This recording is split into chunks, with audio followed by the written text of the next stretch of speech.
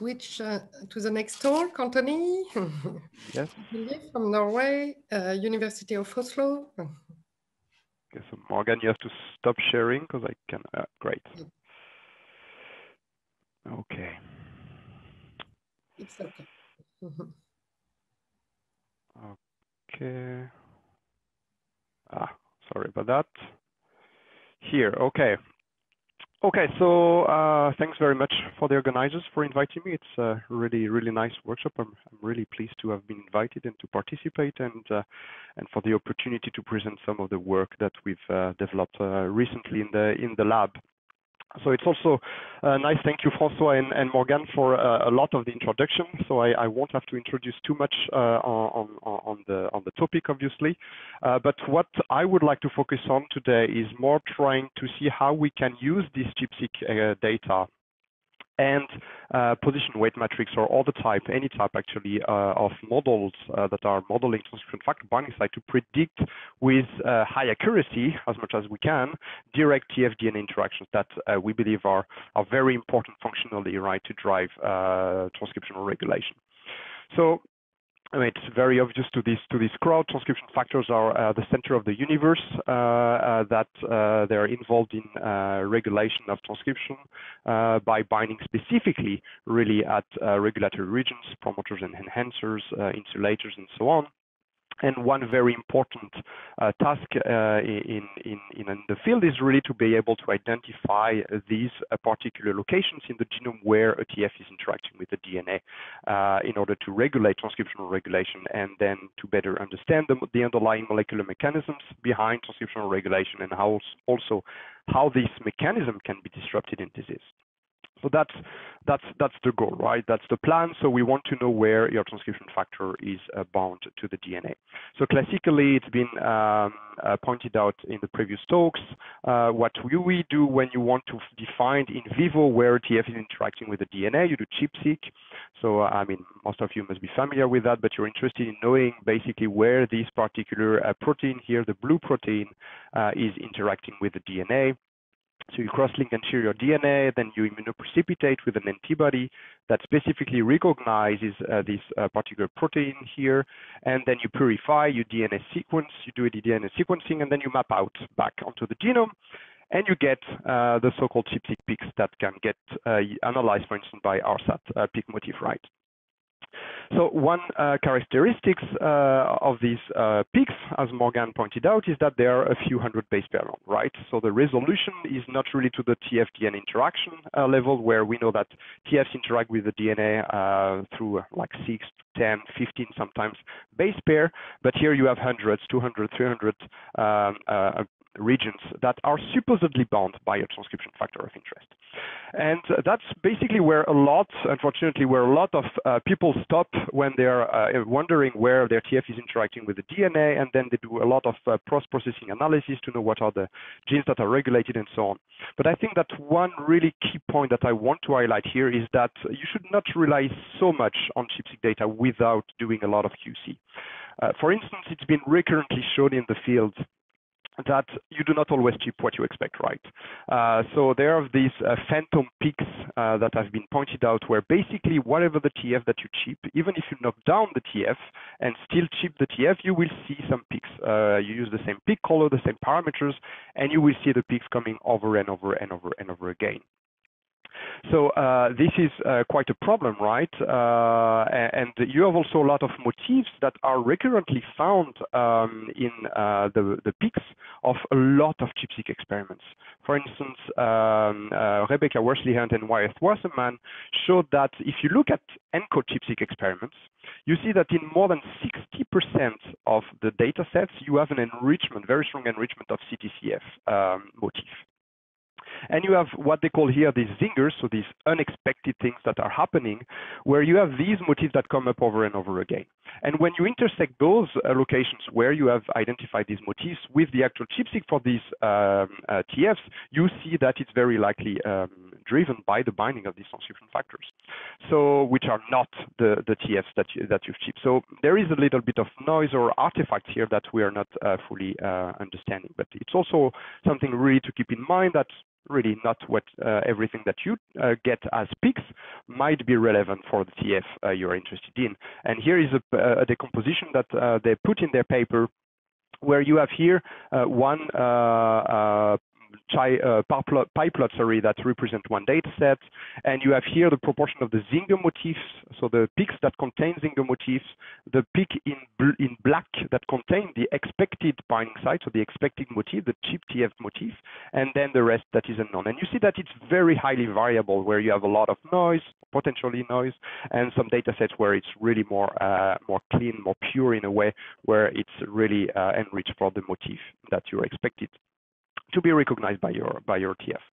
So you know, there are a, few limitations, I think, to ChIP-seq that people really have to keep in mind uh, when they're uh, doing ChIP-seq and analyzing ChIP-seq. One of them, of course, is the resolution. So here you have regions that are supposedly bound by a transcription factor of interest, and you do not get uh, to um, the base pair resolution of transcription factor binding sites, about 10 nucleotides. And then you have some noise on some artifacts. Uh, you, you, for instance, uh, it's highly dependent on the peak caller parameters, right? Depending on the uh, threshold that you put on the FDR, on the size of um, distance to the reason, blah, blah, blah, then you get from hundreds to tens of uh, thousands of, of peaks. Uh, you have all these phantom peaks. You have also non-specific binding of a transcription factor that is scanning the DNA. Uh, you have also the problem of the antibody quality, and you also have direct binding from the TF, indirect binding through another protein. Uh, so all of that is all mixed up in, in what big bag, basically, when you do your ChIP-seq uh, experiment. And so it's really something to keep in mind. And uh, what we tried to do, basically, is trying to to do a little bit of cleaning in a way in these uh, data sets and try to identify basically what are really uh, the regions uh, that correspond to transcription factor binding sites with which we have, uh, for which we have um, a high level of um, um, uh, evidence, basically. So for that, we uh, combine this ChIP-seq information with computational uh, models. Uh, so here I highlight position weight matrices, so I don't need to introduce them to this crowd, and they've been introduced before in the previous talk. And we rely more specifically in the JASPAR database, which is a database that we are continuing updating that was created back in 2004 when Wyeth Wasserman um, was at the Karolinska Institute with Albin Sandelin as the lead author and with also Boris Lenhard, where basically they compile compiled information, looking really going to the library at the time the, uh, and really reading the, the papers uh, on paper and extracting the transcription factor binding sites, summarizing them for the for the TFs. And and now, of course, with the explosion of next generation sequencing, we have a lot of uh, new motifs that are generated uh, and that we manually curate uh, and we provide uh, open access to the community. And I must say that most of the of the motifs that we incorporate now derived from NGS and ChIP-seq are are uh, obtained from RSAT. So it's uh, really, really useful. So we have now this collection of models uh, that um, basically summarize the binding preferences for transcription factors of interest. And we also have access to these ChIP-seq experiments. So we thought about combining both of them to be able to pinpoint what are the likely direct TF-DNA interactions in vivo. So for that, the idea is very simple, uh, and uh, you start from your uh, ChIP-seq experiment. You have your peaks that are summarized here with this um, region here, and then we take one PWM that corresponds to the PWM associated to the TF that has been chipped, and then what you first do is scanning the region. So you locate uh, the first position and you look at the TF motif similarity or the PWM score, whatever you want to call it, and you record that. Then you you slide uh, one by one nucleotide uh, the PWM along their sequence, and you record at every position uh, the motif similarity. And at the end, you just keep uh, track of the position that corresponds uh, to the highest PWM score. So the region computationally that is the most likely to be recognized, to be bound by your transcription factor of interest. And what we record as well is the distance to the peak summit. As Morgan said, we expect that there is an enrichment close to the to the center, close to the peak summit, because this is where we have the highest amount of experimental evidence that your TF is binding uh, onto the DNA, right? This is where the highest amount of reads are aligning. So you expect that. So we, when we do that uh, on uh, a given ChIP-seq experiment, this is the type of plot that we can um, have. So this is a scatter plot that summarizes uh, here all of these results. So you have one point here that corresponds to the TFBS location. So this particular instance here within one peak. Okay, so you have one point that is the best hit in a way in uh, one uh, peak, and so if you have 10,000 uh, peaks, you will have 10,000 points. And you record for each one of these hits, that is the best per peak, what is the, its distance to the peak summit, to the peak maxima, and what is the motif score. The higher the better, because uh, the closer it is to the expected motif bound by your transcription factor. And what you see most of the time, and what is kind of expected, is this enrichment zone here, where you have a lot of sites that are enriched here with close distance to the peak summit and high motif score. And we believe that these should represent direct binding of the transcription factor to the DNA through the recognition of its canonical motif. So you have here in this region both experimental through ChIP-seq and the, and the peak summit and computational uh, with the PWMs evidence of direct TF-DNA interactions.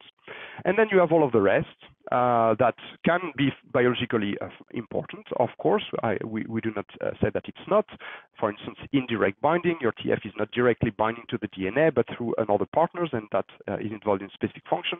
But you have also a lot of other things, uh, unknown and specific binding uh, through Zinger motifs, chromatin conformations, sticky regions, phantom regions, whatever you want to call them noise artifact, and so on. And discriminating uh, the biologically relevant ones from the rest is a bit tricky, so we really wanted to focus on these region, this region here, the enriched region, where uh, we believe there is uh, the highest amount of signal. So that's the goal, right? We have uh, such a plot, for instance, and we want to identify this enrichment zone. And what we wanted to do is to do that automatically, right? And if you are able to do that automatically, the cool things that you will get uh, which will be really data driven, is what is the threshold that you need to use on the PWM? What's the PWM score threshold that you need to use to automatically define where you have this enrichment? And that gives you also an automated threshold on the distance to the peak summit that you need to use to identify this enrichment zone. And if we are able to do that automatically, then the cool thing is that you will be able to do that for every single ChIP-seq data set independently, and you will have every time the specific, the specific thresholds that are important for this particular ChIP-seq experiment. So you can have different uh, thresholds depending uh, on the experiment, even if it's from the same uh, transcription factor. So that's the goal. And what we did was uh, just reusing a very old algorithm uh, from 1985. Uh, I was, uh, yeah, two at the time, uh, so uh, quite uh, old now, where basically it was developed for denoising um, images. So you have here a grayscale image, black and white image, and you want to remove the noise in this image. And what the algorithm does is first uh, plotting the histogram of the uh, grayscale intensity of every single pixel in this uh, image. And what uh, it want to do is decompose basically the signal here from the noise. And what it does is actually quite simple. It tries to find what's the threshold that optimizes that obtains uh, the highest sum of the entropy of the two sub-distributions that you would get at the threshold. So you decompose the signal into two, compute the entropy of the first distribution, the second distribution, and you try to find the threshold that optimizes, that maximizes the sum of the entropies. So very simple, and if you uh, are able to do that, you identify this threshold, and you can consider everything that is above as signal and everything that is below as noise. And when you do that, this is what you get. You keep only the signal and you denoise basically the image. So we thought, okay, this is quite similar to what we have here, right? We have a lot of signal that corresponds to uh, what we think is noise, and then there is the signal. And we want to eliminate the noise. So what if we were to use uh, the uh, histogram of the motif scores and identify then automatically the threshold on the motif score, and then do the same for the distance to the peak maxima? And it works really quite nicely. So this is the type of result that we get. Uh, where you have here the scatter plot, as I showed before. Here it's the same plot, but using a heat map to give you information about the number of points that you have uh, here giving you the z-axis basically. Uh, and, and then you have the, the, the, histogram and the threshold that are automatically identified. And you see that this is the enrichment zone that is automatically identified by the algorithm, uh, really data-driven, no parameters, and so on. And so we published this uh, a couple of years ago now. Uh, the tool is available, uh, this ChIP-eat uh, tool, and we first applied it uh, to um, human uh, ChIP-seq experiment, about 2,000 ChIP-seq experiment for, for human to provide TFBSs. Here in this enrichment zone, we have what we think are TFBSs that are derived from direct TFDNA interactions. So first, what we showed is that if you focus here on these TFBSs uh, on these uh, on the sites that are in this um, enrichment zone, and you compare. So here it's derived from in vivo, right, from ChIP-seq, and we look now at in vitro data as um, an a posteriori uh, validation, right? Uh, we look at the binding affinity of the sequences here that are within this enrichment zone, and we compare to the affinity that you get in vitro for the TF to the sequences that are outside of this enrichment zone. And what we see is that there is a shift, there is a higher affinity for the sequences that are found in this enrichment zone, where we didn't use sequence information, uh, except the, the, the, motif similarity, but um, uh, we see that the uh, threshold keep gets you basically uh, what what you expect. And if you compute the distribution of all the p-values, we see that there is a very strong difference. So we are in uh, the enrichment zone. We show that we are really enriching for uh, sequences that have a higher binding affinity through protein binding microarray data, which is an in vitro experiment. What we showed as well in the paper is that if you look at the peaks that are uh, containing these uh, these uh. So if we look at the peaks that contain here the TFBSs in this enrichment zone, and we look at their p-value, so MACS2, we use MACS2 at the time, to call peaks, and we have then the p-value that is associated. So the lowest the p-value, or here it's minus log 10. So the higher this value, the higher the confidence we have in a way in, in the peaks. And what we compared is the p-value of the peaks that contain TFBS in the enrichment zone versus the peaks that we predict not to contain direct TFDNA interactions. And what we clearly see across all of the data sets is a very strong tendency for them to uh, have lower p-value. So we see that the peaks that contain these TFBSs have, are of likely higher quality, of high, higher confidence. We also show in the paper they are more reproducible uh, across um, um, across replicates. So really uh, giving us uh, information about the confidence that we can have for these transcription factor binding sites. And so uh, that was the first round of uh, applying ChIP-eat. Now we've uh, applied uh, it uh, in uh, more than 10,000 ChIP-seq experiments. We put our data on all the ChIP-seq experiments from the that are publicly available that we can, for which we had peaks that were called from REMAP and GTRD, and we applied ChIP-eat, an adapted version now, updated version to nine species, ChIP-seq dataset, sorry, from nine species. and we are predicting now automatically transcription factor binding sites in these nine species. And we provide all of that uh, available uh, to the community uh, through our Unibind database. You have the URL here, and the paper that described this um, update has been out now for the last 10 days. I think it went out uh, at the end of June. So you can read the paper and, and you can get access to all of these data. So we have data for 841 TFs uh, in, in more than uh, 1,000 uh, cell lines and, and, tissues. And all of that is uh, can be interrogated through the website and through a REST API, and we provide genome browser and so on. But we wanted to make sure that really what we see here across all of these species makes sense and is bio biologically relevant. So we did a, a few quality checks in a way.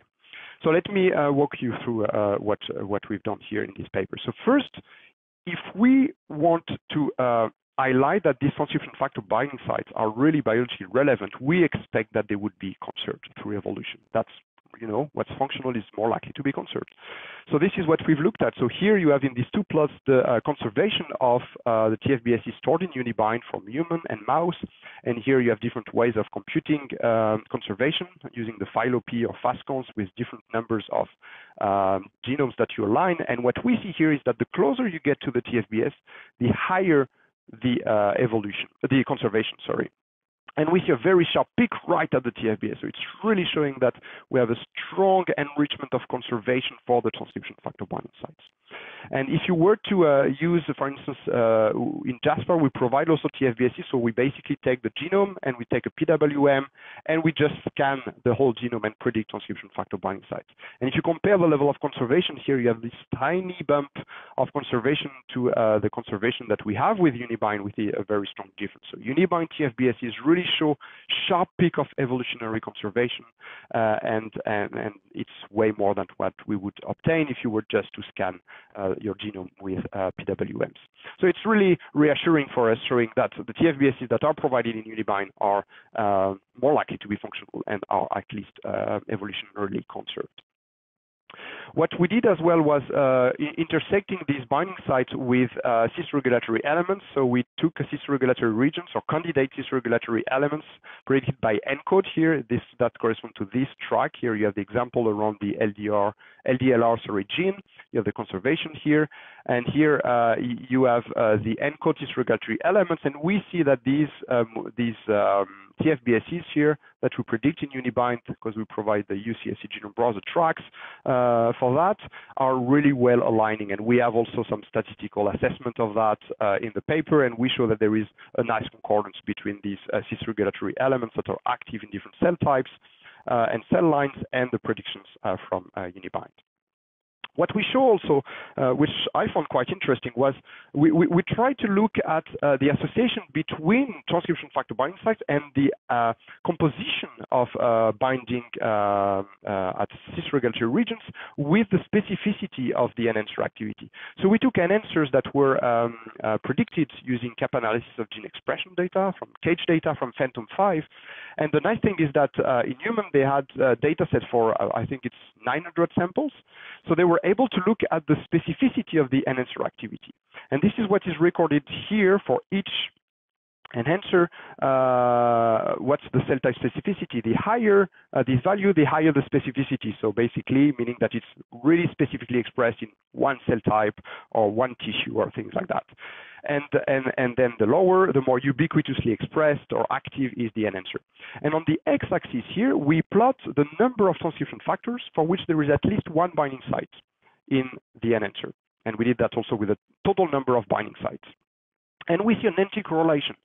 So we see that basically enhancers that are more specific they tend to have less transcription factors that have binding sites that we store in Unibind in them, which makes sense, right? I mean, if you need to be expressing on in a very small sum, uh, number of tissues, then you have a very specific uh, TF that might be driven driving it. But if you want to be expressed ubiquitously in a lot of cell types, then having binding site for a lot of TFs makes more sense. And this is exactly what we observe also with the Unibind TFBSs.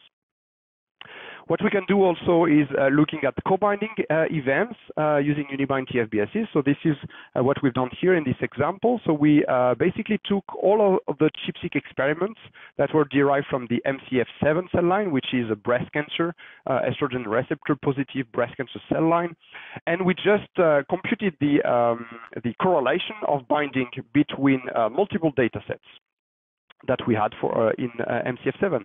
And we see so first that uh, the data sets that correspond to the same TF cluster together, which makes a lot of sense, reproducibility, that's good. And what we see also is that you have TFs that are co-occurring together. So here, GATA3, FOXA1, ESR1, and guess what? Those ones are really well known to combine uh, to co-bind together uh, yeah, specifically at enhancers that get activated in estrogen receptor positive breast cancers. So really uh, highlighting that you can use this resource also to uh, pinpoint TFs that might be collaborating uh, in particular uh, tissues. And you have all, also like JUNFOS that represent the AP1 binding, obviously, and so on and so forth. Uh, sorry. And uh, finally, I want I want to say that uh, we also provide an enrichment tool with uh, with Unibind uh, where basically you come up with your uh, regions of interest as bed files, and we will compute enrichment for all the transcription factor binding site datasets that we have in Unibind. And here again, an example for breast cancer, where we took the CPGs that were hypomethylated in estrogen receptor breast cancer, estrogen receptor positive, sorry, breast cancer. And we see the enrichment of FOXA1, GATA3, ESR1, so the usual suspects, which is a good positive control, that are really enriched around these CPGs that we know are hypomethylated and that get activated uh, in, uh, in breast cancer through the activation of these uh, transcription factors. So we provide uh, this uh, tool through our web interface and also as an R package that you can uh, that you can use. Okay, so all in all, uh, to summarize, we provide, uh, I think, one of the first really genome-wide map of direct TFDNA interactions across multiple species, where we combine both experimental and computational evidence of binding, so really high quality, I believe, transcription factor binding sites that are lucky direct TFDNA interactions. Uh, we show that they are, they are of high quality, correspond to high uh, binding affinity, evolutionarily conserved, so very likely functional, and that you can use them to really highlight different types of to address different types of biological questions, looking at combined, combinatorial binding of transcription factors, uh, specificity of activation. We are using them also for looking at mutations in cancer that lie within transcription factor binding sites. And we provide all of this data through to the community through our Unibind database following the same principle as we have for JASPAR, making everything uh, as high quality as we can and available uh, to the community through web interface and also programmatic access through a REST API, providing everything as bed files and, and FASTA and uh, genome tracks and, and everything. And if you want to know more, as I said, we recently published uh, the paper, uh, which was on bioRxiv for a few months and which uh, is out now for 10 days in, in a journal. And of course, I would like to acknowledge uh, the people who actually did the work. Uh, so Marius uh, was uh, the first PhD in my group, and he was he is the one uh, behind the ChIP-eat pipeline and the first iteration of Unibind. Uh, Raphael, who is now a PhD in the group, who has driven this second release of Unibind, analyzing more than these 10,000 ChIP-seq experiments. So he made the the sweat the the server sweat a lot. And we have Aziz and Paul who worked on the on the web interface. Jaime was also very much involved in this project, and of course, all my group and uh, the uh, our collaborators and the funders for allowing us to do to do the job. And with that, I will be happy to take any question. Thank you very much.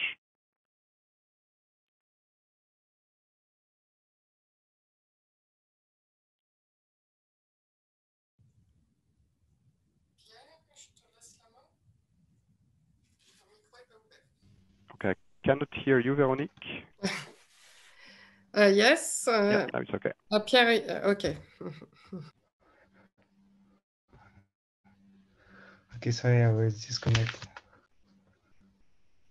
Okay, so I think I can read myself, I guess, the question. Yes. Uh, there is a question in the chat from uh, Guillaume. Uh, in your experience, can Unibind rescue noisy ChIP-seq experiments, for example, due to non-optimal antibodies or unstudied TFs? Um, I guess it can. I mean, what we do is a lot of uh, QC. I didn't uh, explicitly uh, describe everything. So everything is in the paper. Uh, so there are some typical experiments that we cannot rescue at all. I mean, we don't see any enrichment whatsoever of any motif that is found uh, close to the peak center and so on. So in that case, we believe they are really of poor quality for whatever reason.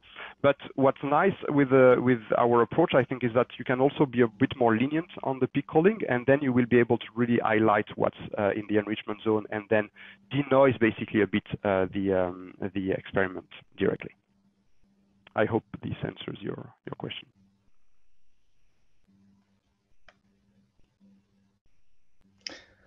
May I may, may I ask okay, a question? So we, we, Sorry.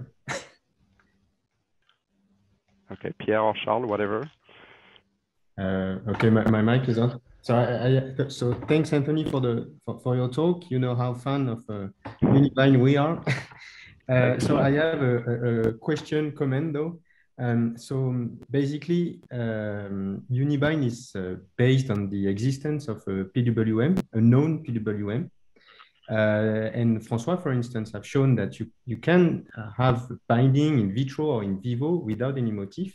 Plus, we have some issues, like for instance, with the one case study, which is SALL4, for instance, you do have a PWM in JASPAR, though yeah, there, there, there are a couple of papers uh, that were that shown that SALL4 will bind AT rich regions, like simple repeats.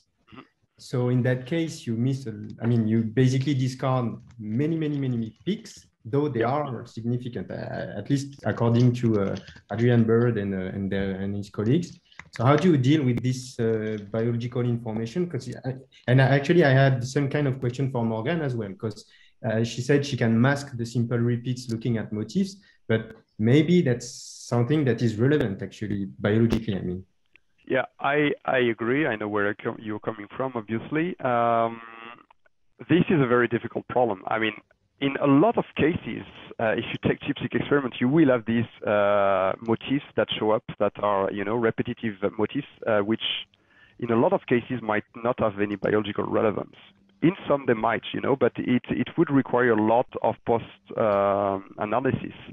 And uh, what we wanted to do was really focus on what is the most likely to be um, to be important and the most likely derived from direct DNA interaction. So of course, if we don't have the motif, then we would not be able to to capture that. But uh, if one has a motif, then he can always run ChIP-eat on the data and and and predict what would be the potential binding site. And if you have a rep, uh, a small repetition that you want to try on with that and you see that there is a very strong enrichment that uh, that is coherent with the with the ChIP-seq experiment and with uh, the the reads similar uh, centrality with the peak summit, then you can use that as well. I mean, there is no nothing uh, that uh, uh, restrain you for doing it. But but yeah, I mean the the, the short answer is no. We we just discard all of that obviously, and and and that is something that would be require a bit more work to really understand. Thanks. And we have a question from uh, Rafael Murad. Uh, how can we be sure that all these noisy motif, noisy peaks are not the result of indirect binding uh, uh, both from protein-protein interaction and long-range chromatin contact? I mean, uh, the short answer is that we cannot be sure. Uh, but then, as I said, um, knowing what's coming from this indirect binding or from noise artifacts from the peak caller, from the antibody, and so on, it's it's a tricky problem. So we wanted to rely. I mean, what we we, we did really uh, we took um, arbitrarily uh, one way, saying that we would prefer specificity over sensitivity. So really, that's what we do with with UniBind, and and then you can always analyze the peaks, and that's something that we are planning to do, obviously, uh, and working on, uh, analyzing all of these peaks that do not uh, fall within this enrichment zone to try to understand what's going on. I mean, the idea is, of course, to look at what are the other motifs that might be enriched specifically in these other peaks, and that could correspond then to indirect binding through a specific partner, and to automatically derive that information and uh, long-range chromatin interactions. Uh, that's also something that we are uh, currently investigating.